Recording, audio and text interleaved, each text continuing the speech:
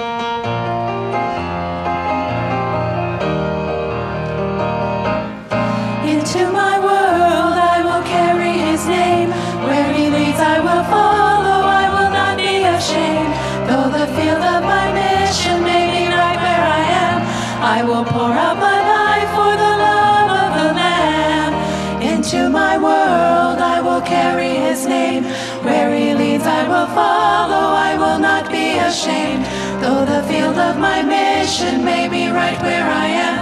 I will pour out my life for the love of the Lamb. Though I may not be called to a land that's far away, I will serve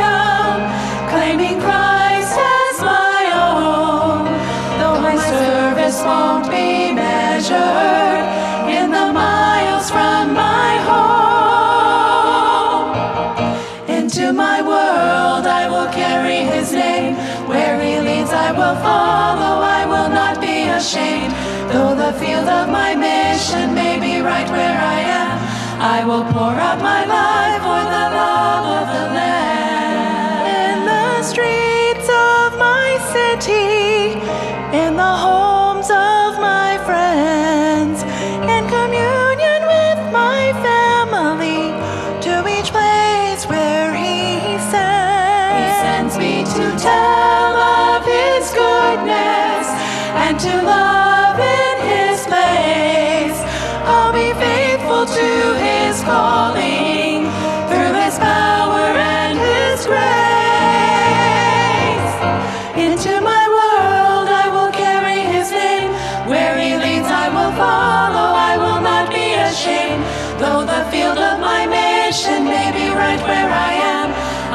pour out my life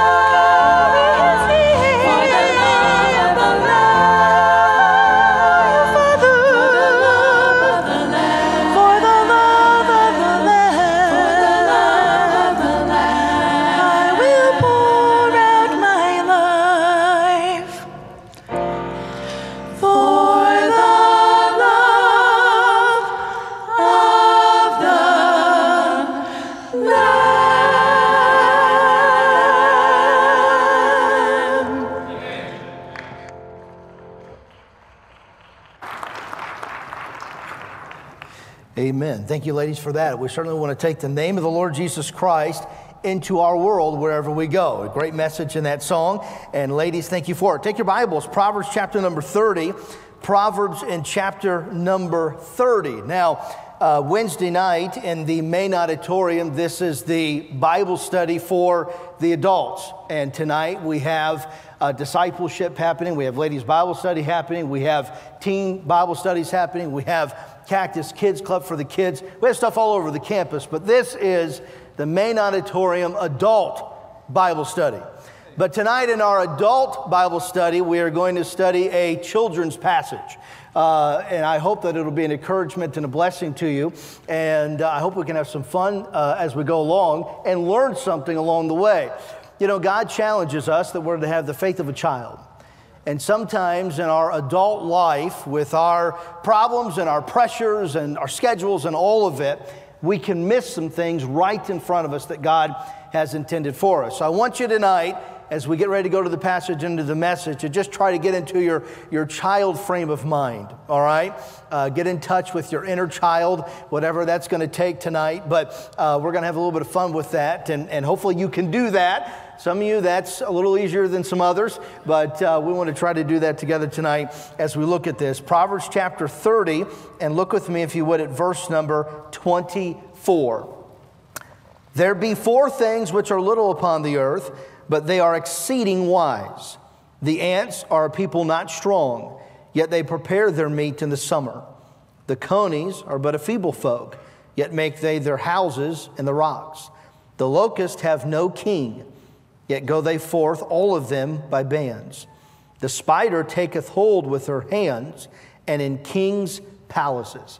And tonight in our Bible study, I want us to look at this topic incredible wisdom from insignificant creatures. Incredible wisdom from insignificant creatures. We all need the wisdom of God. You never know what a day is going to bring and the wisdom that you may need from the Lord. It reminds you of the story of the pastor, a Boy Scout, and a computer genius that were on a plane, small, a biplane, and they were traveling, and the uh, pilot came back to the cabin where the passengers were seated and began to explain that the engine had just cut out and that the plane was going to go down. And unfortunately, they only had three parachutes for the four uh, passengers. And then the pilot began to explain that he was a family man, he had a wife, and he had young kids. And so he felt he should have one of the parachutes. He strapped on, he jumped out of the plane. Well, the computer genius said, Well, I'm a computer genius. I'm one of the smartest men in all the world, and my company really needs me. So he grabbed a parachute and he jumped out of the plane. Well, the preacher looked at that small boy and he said, Listen, I've lived a long, full, and rich life. It's only right that you take the parachute and I'll go down with the plane. And the boy looked at that preacher and he said, Preacher, don't worry about it. That computer genius grabbed my backpack, not a parachute, so we're going to be fine. And uh, sometimes in life, what's missing is good old fashioned common sense. I don't know about you, but how many times going through life do you just you enter into a conversation or a situation and you just think, where has common sense gone in 2019? Maybe you listened to some of the debate last night and you thought for sure, where has common sense gone in 2019 for sure? And we need in our day and culture and society a fresh dose of wisdom from God. My life's verse is Proverbs 4 7. Wisdom is a principal thing. Therefore, get wisdom, and with all thy getting, get understanding. And I believe as a people of God, we're going to be hungry for the wisdom of God through the Word of God. And it doesn't matter what we're going through. Life for you right now may be great. Life for you right now may be a challenge. There uh, may be no problems. There may be nothing but problems. But it doesn't really matter what you're facing. We all are daily in the need of the Lord Jesus Christ. And the blessing is that God is, has no shortage of wisdom. It's available for everyone in this room. We can attain it through His Word.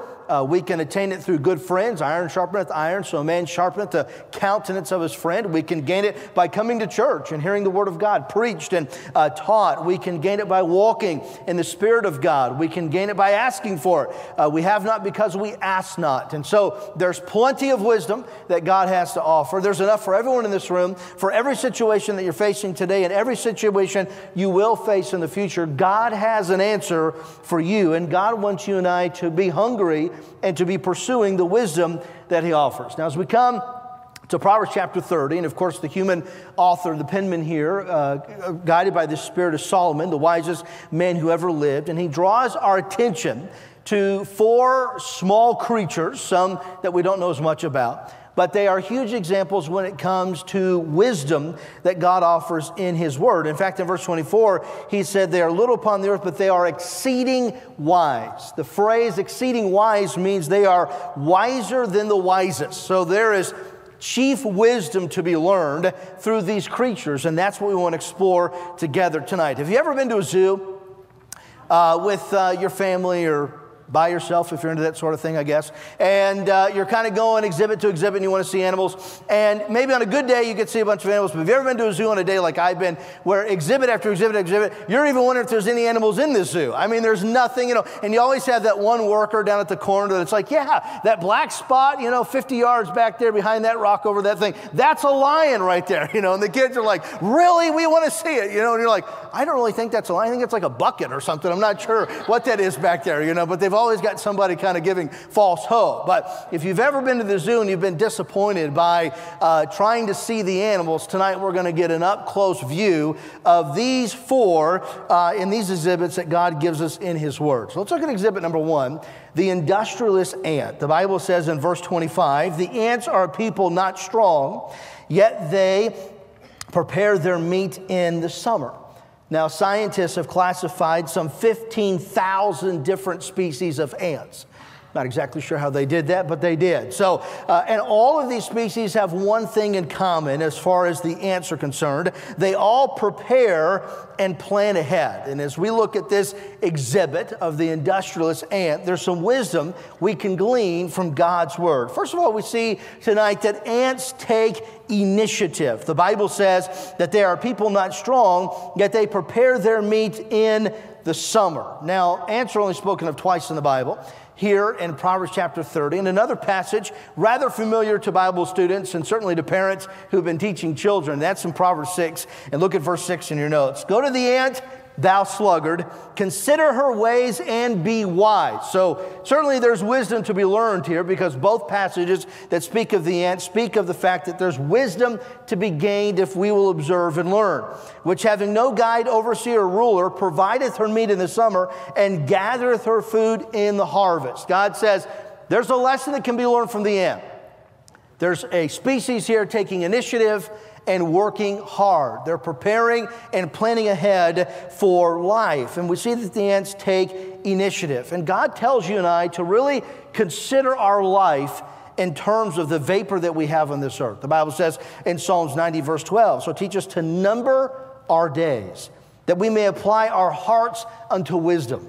Sometimes we sit in church and we hear verses like that and we agree with it in principle. But the way that we live our life, we don't agree with it because we're living as if we're going to live forever. And God reminds us tonight number your days. The day you live today, you'll never get back. October the 16th of 2019, in three, uh, four and a half hours, is going to be over and gone, and you'll never get it again. So God says, in light of that, number your days. Uh, don't, don't take them for granted. Live every day on purpose take the initiative to live it for the Lord Jesus Christ. In Ephesians, the Bible says, redeeming the time because the days are evil. We all have the same amount of time, and God is saying, observe the industrious ant. They're taking initiative, they're staying busy, they're planning ahead, they're working hard, they're using their time wisely, and God wants us to glean that wisdom and to apply it to our life. Now, God is not advocating here that we should not have a guide, overseer, or ruler, all right? And we're thankful for uh, the structure that God has, the authority that God has. God has established the church, and we have a pastor who is the under shepherd under the chief shepherd, and he has authority in the church. God established the home, and the husband has authority in the home, and the husband and wife have authority over the children, and there's structure in that home as God developed it. God established the government, and we live in a culture and society of order because that's the way that God designed it to be. It's to be in order and we're thankful for that. But however, God in this passage is advocating and teaching that we should be motivated by self. We should be taking the initiative and we should plan ahead. Our pastors taught us many times here at Lancaster Baptist Church that a dream without a plan is a wish. And if we want to see something accomplished, we've got to plan for it, and then we've got to work towards that goal. And we see that the are taking the initiative. They uh, are. Uh, gathering their meat in the summer. They're preparing for the time when it will not be available. It's like sitting around saying, Well, I wish I could take a vacation. We can sit around all day long and wish to take a vacation. We may never take a vacation. But if we plan the time off and the saving of money and the uh, planning of the destination and the events and all of those kinds of things, then something like that will come to fruition. God wants us to live our life in this way, to live it on purpose for Him. So we see these ants uh, these industrial ants, what are they doing? They're taking initiative. And God wants you and I to take that as well. But we see letter B that they're taking responsibility. The Bible says they are a people not strong, yet they're preparing their meat in the summer. So not only are they planning ahead and preparing and taking initiative, but they're doing it in the hottest part of the season in which there is to work. And yet they're getting the job done. They're taking responsibility. The are known as hard-working species, certainly not lazy. In fact, in the second account of the ants in Proverbs chapter 6, look at what the psalm goes on to say in verse 9 How long wilt thou sleep, O sluggard? When wilt thou rise out of thy sleep? Get a little sleep, a little slumber, a little folding of the hands to sleep. So shall thy poverty come as one that traveleth, and thy want as an armed man. The contrast being made here listen, we can have the work ethic of an ant and have meat uh, in, in, the, in the cold time because we gathered it in the summer, or we can have hunger and, and starvation and, and go without because we have not worked diligently when we should. America used to be a country full of men who ran to responsibility. We are shifting to a country of men who run away from responsibility. It's interesting, a lot of workplaces you hear things say like, don't work too hard, take it easy, you know, pace yourself. You're going to make the rest of us look bad. And on and on it goes. What are those? Those are statements reflective of the culture in which you and I live. Because we are living in a culture that less and less is taking God's wisdom in the sense of working hard and taking responsibility for oneself. And God says, Look at the industrious ant. In the midst of the summer season, they're working hard, they're gathering meat, they're preparing, they're taking responsibility. The Bible says in 2 uh, Thessalonians 3:10, "For even when we were with you, this we commanded you that if any would not work, neither should he eat." And God says, "Listen, able-bodied men should work. This is the way that God designed it. Far before God gave Adam Eve, God gave Adam the garden to manage.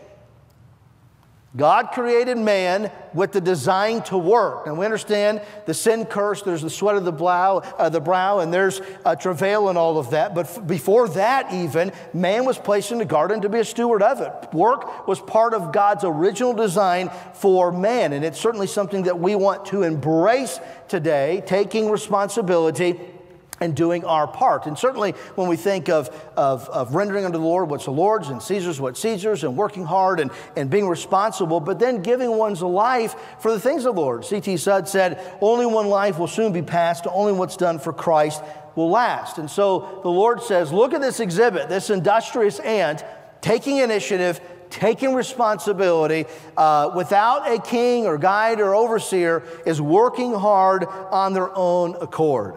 They say there's three kinds of people those who make things happen, those who watch things happen, and those who wonder what the world's happening out there. And, uh, and no doubt you can relate to that in your life and people that you connect with. The Bible says to you and I, whatsoever thy hand findeth to do, do it with all thy might. And I'll just tell you, if you'll learn from the exhibit of the ant, you'll have salt and light in this earth.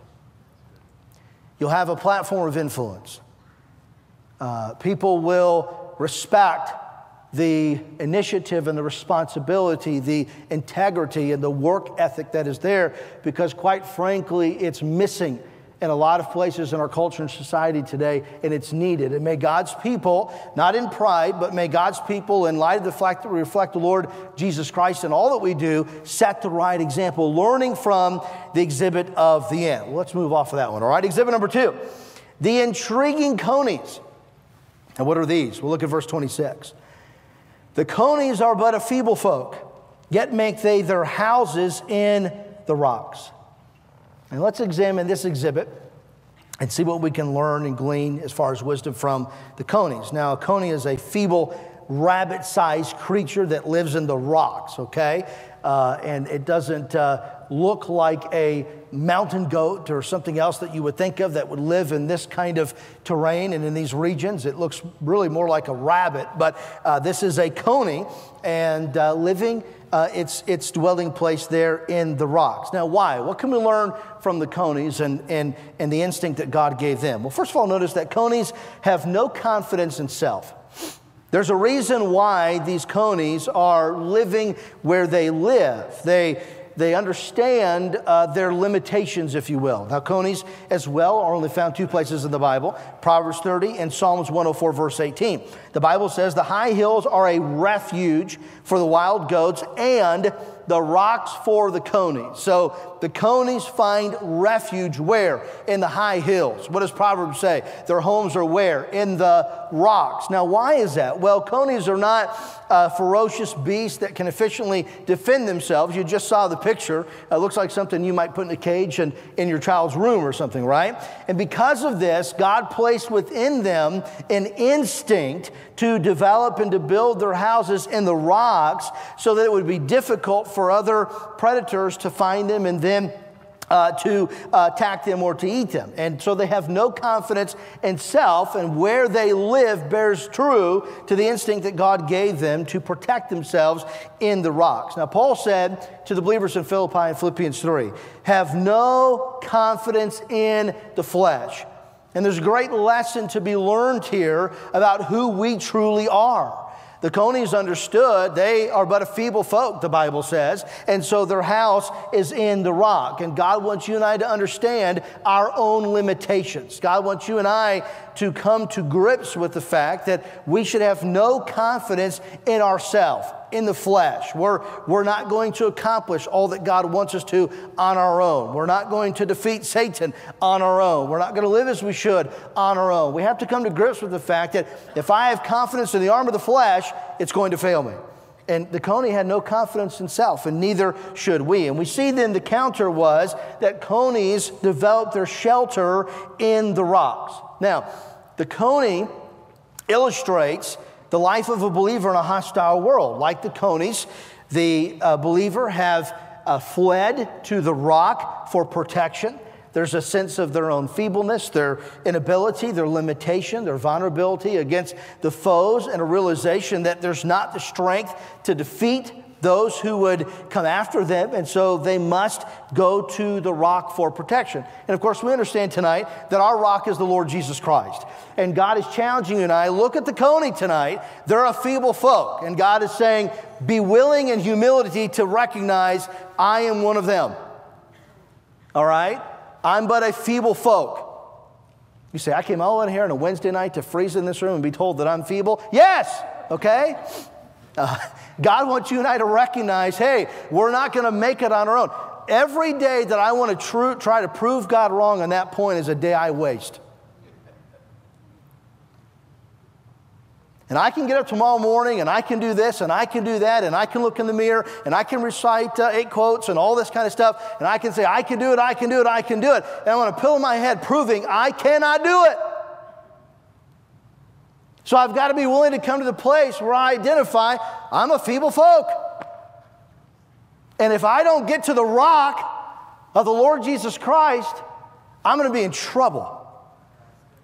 Because just like this Coney understands, they're predators out there, and it's no joke, and it's literally a matter of life and death. Friend, there's a predator out there as a roaring lion walking about seeking whom he may devour. It's no joke, it's your life and my life, your family and my family, your future and my future. And so I must come to the realization there's no confidence in me.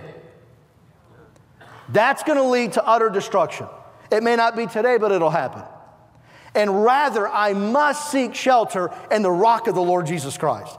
If I want to live a victorious Christian life, if I want to live an abundant Christian life, if I want to live a fruit bearing Christian life, if I want to live a joy filled Christian life, then I have to be willing to admit I am a feeble folk seeking shelter in the rock of the Lord Jesus Christ. That's the way that God wants you and I to live. He said, Here's a lesson you can learn from the Coney seeking shelter in the rock. In Matthew's account, the wise man built his house upon the rock. And as the elements came of the floods and the wind and the rain, there was safety because life was built on the Lord Jesus Christ. In Matthew 6 26, the Bible says, Behold, the fowls of the air, for they sow not, neither do they reap, nor gather into barns, yet your heavenly Father feedeth them. Are ye not much better than they? The psalmist said in chapter 61, Hear my cry, O God, attend to my prayer. From the end of the earth will I cry unto thee when my heart is overwhelmed. Lead me to the rock that is higher than I, for thou hast been a shelter for me and a strong tower from the enemy. Friend, God wants to be a shelter for you. God wants to be a strong tower for you. God wants to be a help to you. But you first have to admit, as the Coney understood instinctively, I'm not going to do this without the rock and you and I are not going to do it without the Lord Jesus Christ. No doubt, as we see the picture of the coney, that he's not going to win the battle against a lion. You and I are not going to win the battle against the wicked one. It's not designed to be that way on our own. But in the power of the Lord Jesus Christ, we can. And we must abide in the rock of the Lord Jesus Christ. And can I just encourage you tonight when your enemy is pursuing you, and he may be even tonight, climb higher. Get closer to the Lord Jesus Christ. Be in church. Be in God's Word. Be in the prayer closet. Get in the rock of the Lord Jesus Christ. When your enemy is coming after you or your marriage or your family or whatever situation it is that you're dealing with, get to the rock of the Lord Jesus Christ. That is where safety will lie. So we see the intriguing coney, a feeble folk, but housing in the rocks. Thirdly, notice exhibit three tonight in our journey through this zoo the invading locust. The invading locust. Now, as we examine this exhibit, there's good wisdom to glean here as well. We see, first of all, that the locusts are unified. Look at verse 27. The locusts have no king, yet go they forth, all of them by bands. So they're all working together, even though there's no oversight. Locusts are unified. They're, they're accomplishing much because of their dedication to working together. And the Bible says in Psalms 133 1, Behold, how good and how pleasant it is for brethren to dwell together in unity. Let's all read that together. Ready? Begin. Behold, how good. God wants us to dwell together in unity. God wants Lancaster Baptist Church to be unified. God wants your family to be unified. And God says it is pleasant when brethren dwell together in unity, when we get along, uh, when we encourage one another, when we appreciate one another. This is God's plan for your life, for your family, and for His church. And He said there's a lesson to be learned from these locusts. Even without a king, they're working together by band. There's a spirit of teamwork here that we need to learn. A New York family decided that they need to leave the crowded city and uh, head out for some wide open space. And so they bought a ranch out west and they went out there intending to raise cattle and they got there and began to settle in and prepare the ranch for this work. And about a month into the endeavor, a friend came from New York City to visit the family to see how things were going on the family ranch and the progress that they were making. And uh, the, the father met uh, the guest and began to show him around. And, and the guest said, Well, what have you named the ranch? And he said, Well, I wanted to name it the Bar J Ranch. And my wife, she kind of liked the Susie Q Ranch. And one of our boys, he was in favor of the Flying W Ranch, and, and yet our other son wanted the Lazy Y. And so we couldn't quite figure out what we were going to name the ranch, and we thought, in the spirit of teamwork and compromise, that we would call it the Bar J, Susie Q, Flying W, Lazy Y Ranch. And the friend said, Wow, that's great. He said, Well, where are all your cattle? He said, Well, none of them could survive the branding process. And uh, just wasn't working out for him. Now, God wants us to have a spirit of teamwork in our life, in our relationships, family, and church. Paul said, and the theme of our church from our pastor in Philippians 1.27, and we'll let your conversation become, is it become the gospel of Christ, that whether I come and see you or else be absent, I may hear of your affairs, and you stand fast in one spirit, with one mind, striving together for the faith of the gospel. God said, That's the spirit and attitude that I want. One mind, one spirit, striving together for the faith of the gospel. Now, it's amazing what locusts can accomplish when they're working together. And I want to give you a little bit of information, and I'll do it quickly. A plague of locusts is quite a devastating natural disaster. In fact, these infestations have been feared throughout history, and they still are wreaking havoc today. Like snowflakes, one is small and weak and hard to notice, but a large group of them can destroy a land much more effectively than any king or army. Locusts are related to grasshoppers, they look very similar. However, when the environmental conditions are just right and the vegetation is right, locusts can congregate into thick mobile swarms and they can search over 150 square miles in a single day. And when they come to an agricultural rich area, they can devour all the food and crops that are there. As a result of this, they cause much damage and, in some cases, even famine and starvation. There are many places in the world, but today, most prevalently, uh, in the farming regions of Africa. The desert locust is notorious. They inhabit some 60 countries and they can grow and at a time cover one fifth of the Earth's land surface. Their plagues can threaten up to 10% of the human world population. They consume their own body weight in food every single day, and a swarm can eat as much as 200,000 tons of food in a single day. That's enough to feed a half billion people. They can devour that in one single day. In fact, a swarm can cover upwards of 460 square miles. They're packed in at 80 million locusts to a square mile. That's 55 billion locusts in one storm. And in 1998, there was a swarm that flew from West Africa to the Caribbean. And scientists began to study how these locusts fly and work together in consuming this vegetation. And they learned that they synchronized their wing beats. And this reduced the turbulence, making their flying more efficient. And like fighter pilots, they were flying in perfect formation. And they even had crash detectors that would help them avoid mid air conclusions. In fact, the scientists detected that they reacted six times faster than the human pilot. And so, even in crowded airspace, uh, could maneuver and get out of trouble. Now, what was God wanting us to learn as we look at the exhibit of the locust? That listen, you and I need to live in unity as the locusts are in unity when it comes to our life, our family, and the local church. But sometimes we don't have that unity, and often Proverbs 13 10 settles as to why. The Bible says, Only by pride cometh contention. And God wants you and I to live a unified life. And God wants you and I to look at the locusts and say, Listen, there's no king. So there's no one telling them to behave and be kind and live the golden rule and be in your spot and, you know, don't fly over so and so and don't eat so and so's food. None of that's happening. But they're all working together by band and the mission is being accomplished and they can do an awful lot in a short amount of time. And God is saying that if a church will work together like that, a lot can be done in a short amount of time to the glory of God. But there has to be an insistence upon unity, and we have to be willing to look at ourselves and say, Lord, help me not to let my pride get in the way of unity. I don't know, tonight it might be the relationship with your spouse. There may not be unity in that relationship. And it may be a wife or a husband, and pride is in the way. It may be a relationship with a coworker, and there's just not unity. But the root of the matter is there's pride. There may be someone in this church that you're dodging, you're not looking at, you're not making eye contact with, you're not being kind. And the truth of the matter is, it's nothing but a base root, a problem of pride. And God says, look at the exhibit of the locust, look at what they're accomplishing. You know how they're doing it? Unity.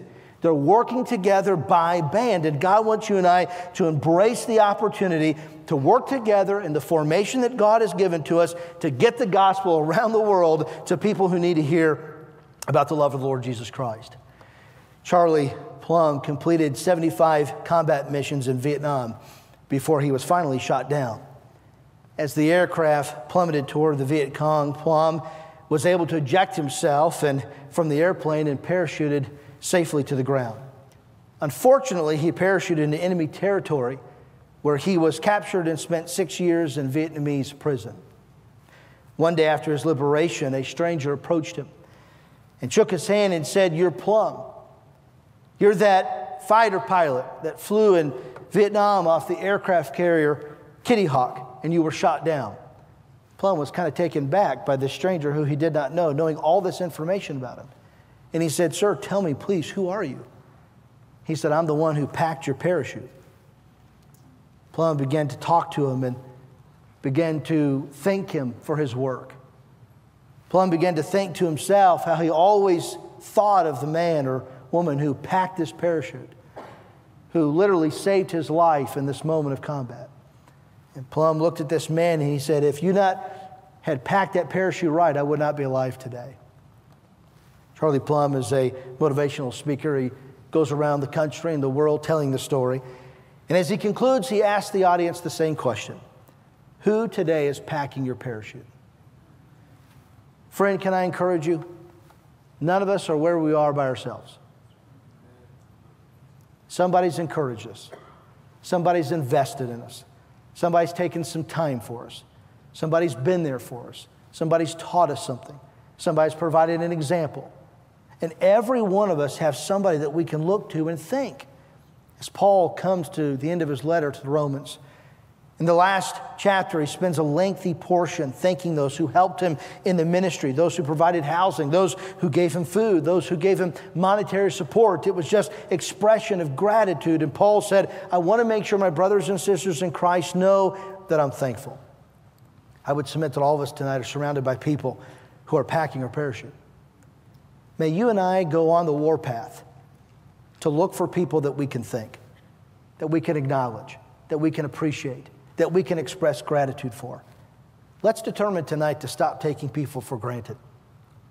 Let's take it upon ourselves to express gratitude. The Bible says, To him that knoweth to do good and doeth it not, timid is sin. The Bible says, Withhold not good from them to whom it is due, is in the power of thine hand to do it. If you and I can be an encouragement to somebody, if you and I can express gratitude to somebody, then let's do it. God says, Look at the locust. They are working together, they're unified. But notice about the locust, letter B, they're unselfish. He says in verse number 27, They have no king. No one is there providing this oversight, yet the unity is still intact. Now, friend, that means we have no excuse because God wants you and I to live in unity, and we do have a king. The Bible says in Psalms 47, For God is the king of all the earth, singing praises with understanding to him. And we do have a king. We have an overseer. We have one who will empower us to live in unity in our life. And James 3, gives us insight to how we can have this unity. Beginning in verse 13, who is a wise man and do with knowledge among you, let him show out of good conversation his works with meekness of wisdom. But if ye have bitter envy and strife in your hearts, glory not and lie not against the truth. The wisdom descendeth not from above, but is earthly, sensual, devilish. For where envying and strife is, there is confusion in every evil work. But the wisdom that is first above is first pure, then peaceable, gentle, and easy to be entreated. You know the secret to having the kind of unity God wants you and I to have? Purity. It's first pure, then peaceable.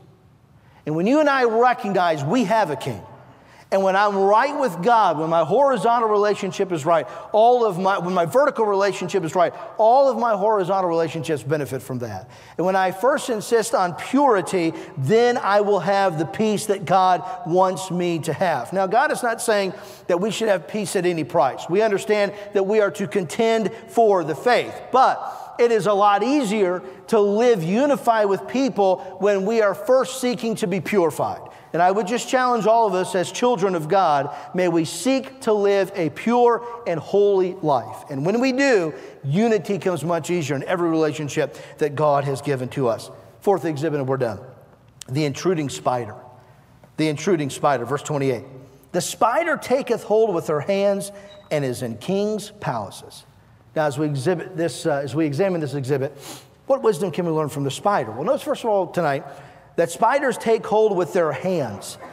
Take hold with their hands. Now, it's pretty cool to watch a spider work, to create a web, to dangle from all kinds of places you wouldn't imagine, you know. And it would be kind of cool to be able to climb buildings with your hands. That would be, uh, you know, every Spider Man enthusiast would love uh, this ability. And that's what the spider has, and taking hold with their hands. But what does God teach us in His Word that we should take hold of with our hands? Well, oftentimes God wants you and I to grab hold of truth and instruction. The Bible says in Proverbs 4:13, "Take fast hold of instruction, let her not go, keep her, for she is thy life." And then we see in Proverbs 23, 23, "Buy the truth and sell it not, also wisdom and instruction and understanding." God wants you and I to take fast hold of instruction and wisdom. God wants you and I to have the truth and to sell it not. God wants you and I to value His word. And just as the spider with her hands would create great works, God wants you and I to take His word in our hands and not let it go. And may you and I be willing to live according to the truth that we find in the power of the Lord Jesus Christ. Think about the works of your hands. What is it that you're doing with your life? Some in here work with their hands. They make, they fix, they create. But let's think about the big picture the life that God has given to you, the breath that He's gifted you to breathe. What are you doing with that? What is your life? How will you be remembered? What is the work of your hands? What is the legacy of your life?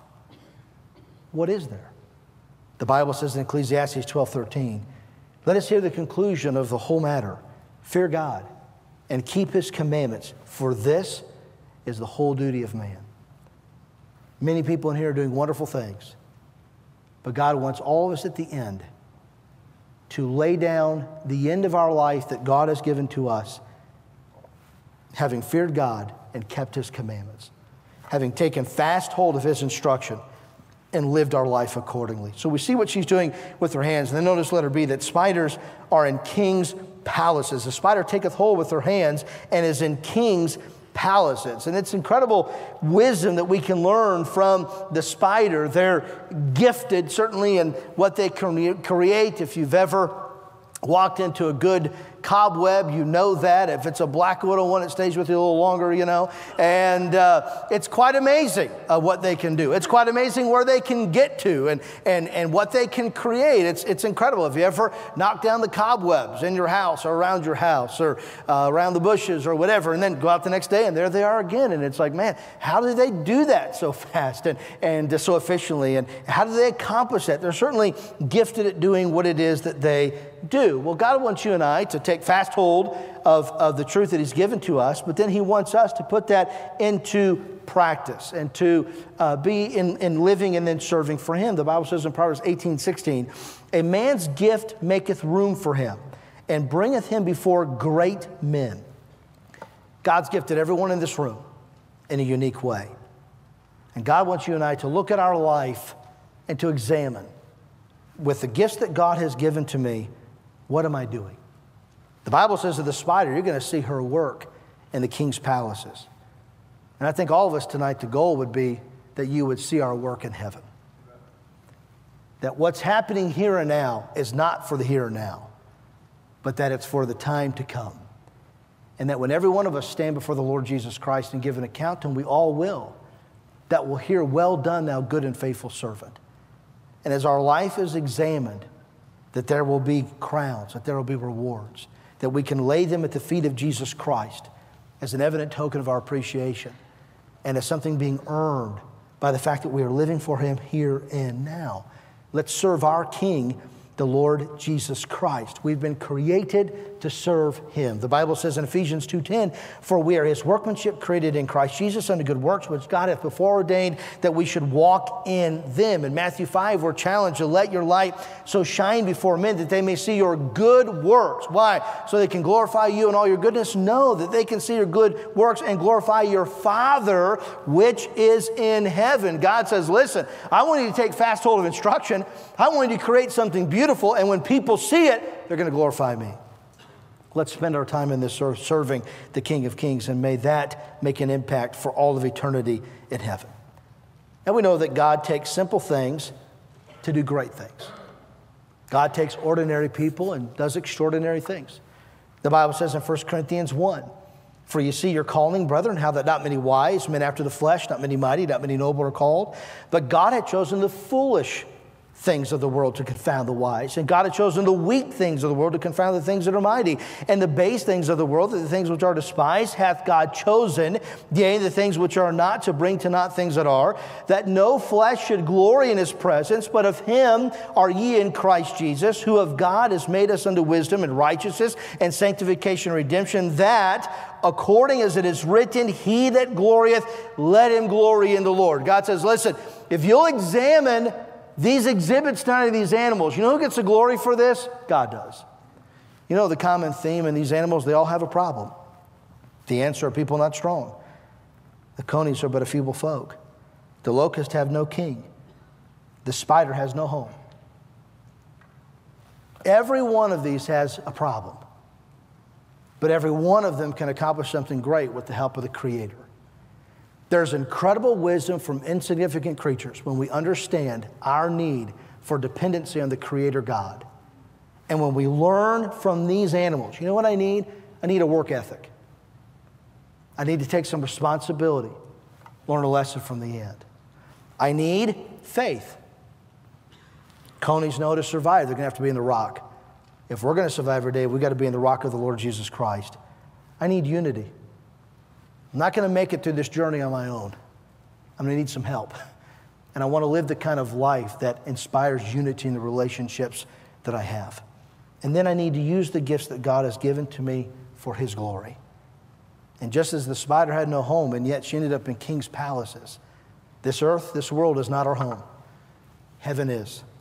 And when I'm living here thinking of there, when I'm living here investing in there, when I'm living here laying up treasure there, that's what God wants.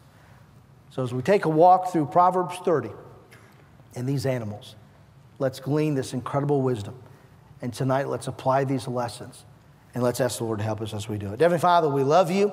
We thank you, Lord, for your precious word tonight. And we thank you, Lord, for the relevancy of your scripture to our life here in 2019.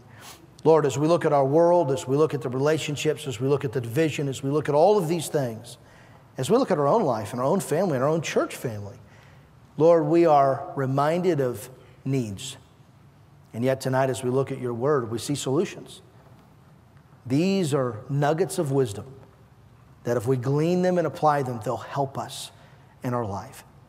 So, Lord, help us as we examine these creatures to glean from them something we can apply that would help us to live as you created us and that would be pleasing to you. With every head bowed and every eye closed and no one looking about, how many would say, Gabe, you know, as we looked at these animals tonight and something about them that maybe God would want us to see, the Spirit of God spoke to my heart. And I saw something tonight in one of those verses and one of those animals and one of those characteristics that I think God wanted me to hear that I need to apply. And I'd just like for you to pray for me. As I apply that, I think it'll help me. I think God had that for me. And I want to put into practice what He's laid upon my heart. Could I just pray for you tonight? That's me. God spoke to me tonight. I saw something there. I think God had that for me, and I want to make sure I take it and apply it to my life and relationships. Heavenly Father, I pray that your will and way would be done in this service and invitation. If there's one here who does not know you as Savior, I pray tonight they'd come. Give us the opportunity to share with them from your word how they can know for sure heaven to be their home. Lord, you tonight have been at work. May we now respond. May we learn the wisdom that you would have us to glean, and may we implement into our daily life. And we'll praise and thank you for this. With every head bowed and eye closed, let's stand to our feet. The musician's already playing. Can I encourage you to come if God spoke to you or make invitation, altar right there at your seat? Just spend some time talking with the Lord and saying, Lord, uh, help me in my life. Maybe it's my work, maybe it's my faith, maybe it's unity, maybe it's using what God's gifted me. But if God spoke to your heart tonight through one of these characteristics of wisdom that need to be gleaned and implemented, I want to encourage you to take some time with Him. If you're here tonight and you do not know Jesus Christ as your Savior, I'd love to encourage you to come and let us share with you from God's Word how you can know for sure heaven will be your home. And Christian, let's just take a moment to pray.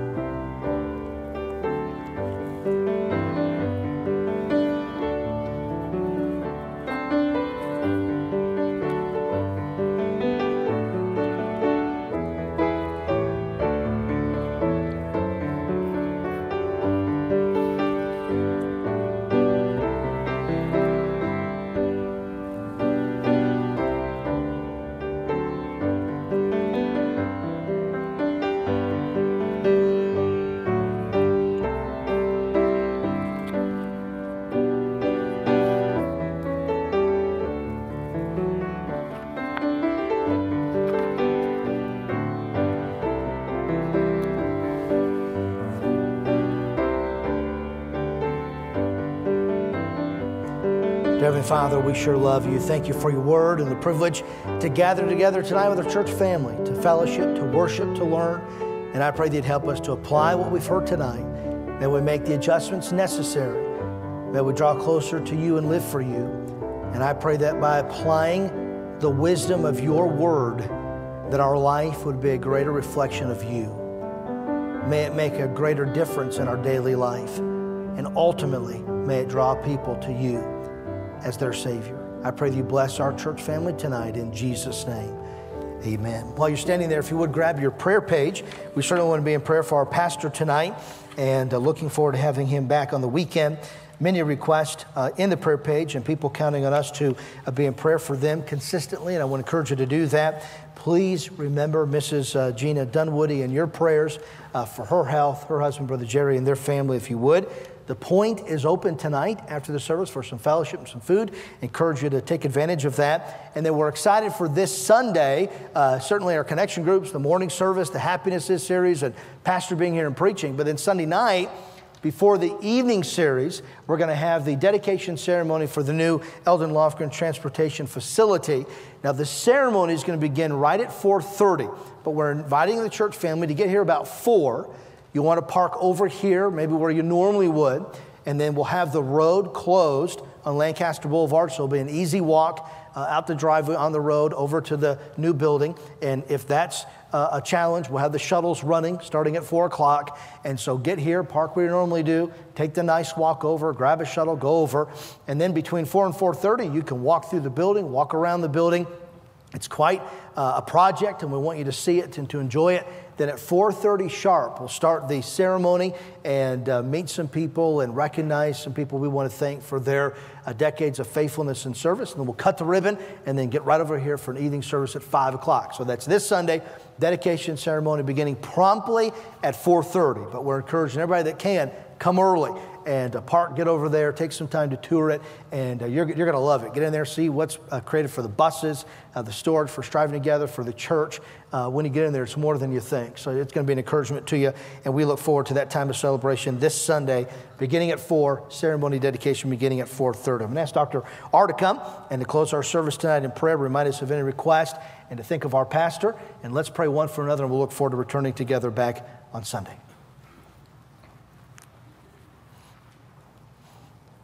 Brother Gabe, I just want to say briefly, I talked to Brother Jerry Dunwoody tonight, and they have uh, stopped all medical care for her. She's on morphine. Uh, our pastor went over and prayed with Brother Dunwoody tonight. I really appreciate that. He was a deacon here. She taught here for a number of years. I remember went over and prayed with Brother Dunwoody tonight. I really appreciate that. He was a deacon here. She taught here for a number of years. I remember she was the junior high choir school pianist. My daughter led the choir there, and she just was just a good lady, great English teacher, great music teacher. They have an 18 year old daughter named Kate and a 16 year old son named Jerry Jr. And especially be a prayer for them, of course, Brother Jerry as well. And in light of all that, we're thankful for heaven and uh, the home of the just men made perfect. And I'm thankful for a pastor who drive a good distance over to be a blessing to a former deacon and the family that was there gathered there tonight. Let's pray at this time. Lord, we do pray for the Dunwoodies. I pray for Jerry and Jenna. I pray for Jerry Jr. and Kate. I pray you give them grace during this time. We claim the promise that your grace is sufficient and your strength is made perfect in our weakness. Lord, I pray that we can be an encouragement to them. I thank you that our pastor was able to do that even today. And Lord, we pray for these many other requests. We thank you for the dedication of the Eldon Lofgren Transportation Building next week. Uh, what a tremendous tool that'll be for our bus ministry, for striving together. We thank you for that, for so many that have sacrificed for that. We thank you for the tremendous results of just two weeks ago with over 100 visiting families and over 100 people getting saved. We thank you for that, Lord, and I pray you help us to follow up. And Lord, we stop tonight. We pray for those in our church who have health issues. I pray for Joanne Lofgren. You be with her in her battle with cancer. Brother Bob Hightower, you be with him. Pray for Brother Ron Chow as he fights muscular dystrophy. I pray for just your help on on their lives and so many others, Lord, uh, who would like to even be here tonight and cannot be here. I pray, Lord, that you will help us to represent you well as we go out into this week and to be the Christians you saved us to be. Thank you for this practical Bible study tonight. I pray you help us to learn from it and to apply it to our lives. We pray these things in Jesus' name. Amen.